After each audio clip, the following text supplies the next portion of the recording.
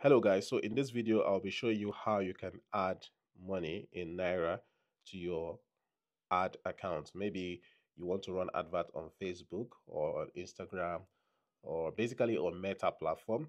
I'm going to show you how you can add Naira in a simple way. So the first thing you want to do is click on this um, settings button and then you go to this billing and payment.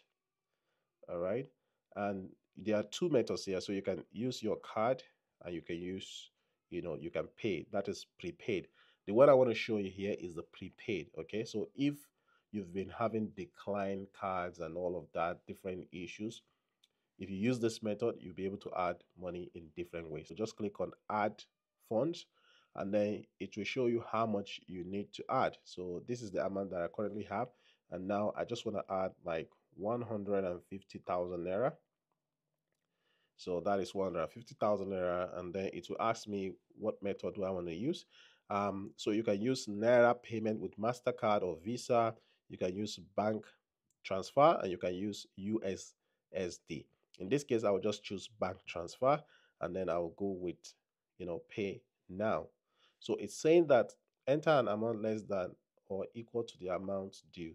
So what I want to do basically is to add money. So I'm not trying to just pay that amount. I want to, you know, add money to it.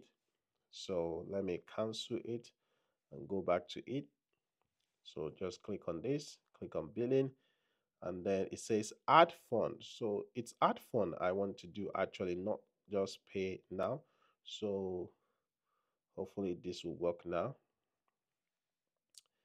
Uh, maybe they want me to pay that one first, but I don't know. Let's see uh, 150,000 okay so I'll just click on this. Yep so I think it's, it will work now. So it's processing. Um, so if you encounter such challenge I think that is the that is what you need to do. So um, it's gonna bring like it's gonna say I should enter my phone number. Yeah now I will just enter my phone number Once you're done, click on next. So it will give you a random um, account number to make the transfer into. Now, please make sure that this account number, don't wait, you know, because you can see that it's counting down 29 minutes. So after this time, if you go and make the transfer, you might not be credited. So make sure that you transfer within this window. Okay, some people will say, okay, I'll take the account number, I'll go to the bank and deposit. No, it doesn't work that way. So copy it right now. So I have copied it. Once you click on it, it's copied.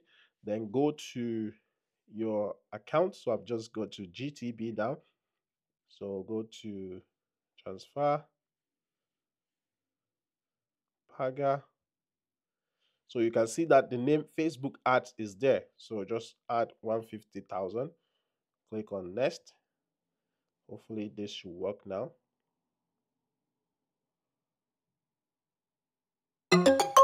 Yeah, so you can see that the payment is now successful. You can click on done or, you know, generate your receipt.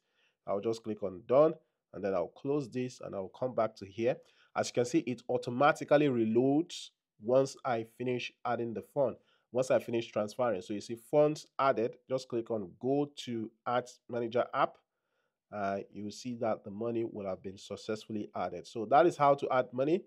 So you can see they deducted the amount that I've spent already, and then I have 145,000.